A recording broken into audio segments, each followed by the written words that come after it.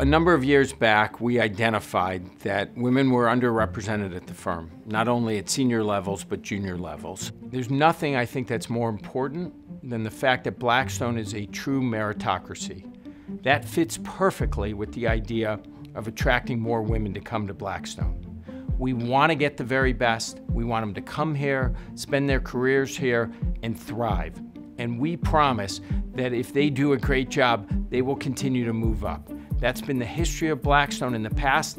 It's definitely the future of Blackstone as well.